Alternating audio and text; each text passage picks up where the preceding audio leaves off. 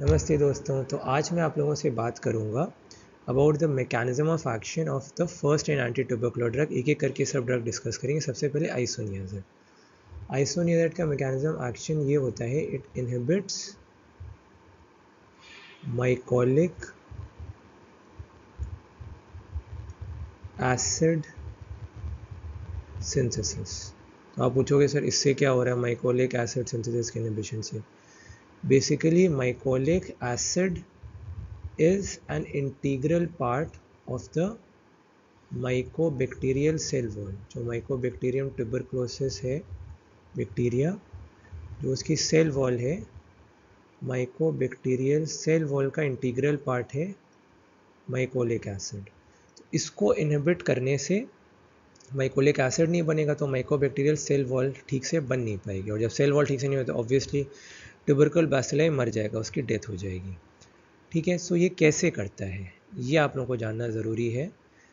This it basically दो enzymes को inhibit करता है आइसोनियाजिड एक का नाम है कैटेलेस परऑक्सीडेज ठीक? एक एंजाइम को इनहिबिट करता है, उसका नाम है कैटेलेस परऑक्सीडेज और ये कौन सी जीन से इनकोडेड है, ये भी याद रखना आपको ज़रूरी है by the kat G gene ठीक?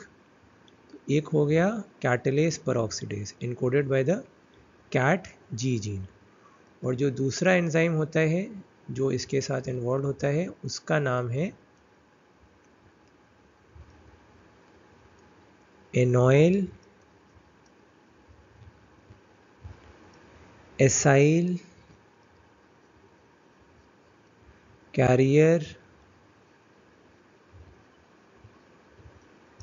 protein, reductase enoyl acyl, carrier, protein, reductase.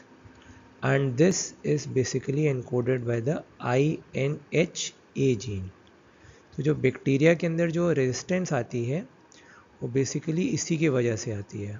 आई एन एच ए या कैट जी में अगर म्यूटेशंस या चेंजेस हो जाएँ सो माइक्रोबैक्टीरियम ट्यूबरक्लोसिस में रेजिस्टेंस आ सकती है अगेंस्ट आइसोनिया से, ठीक है?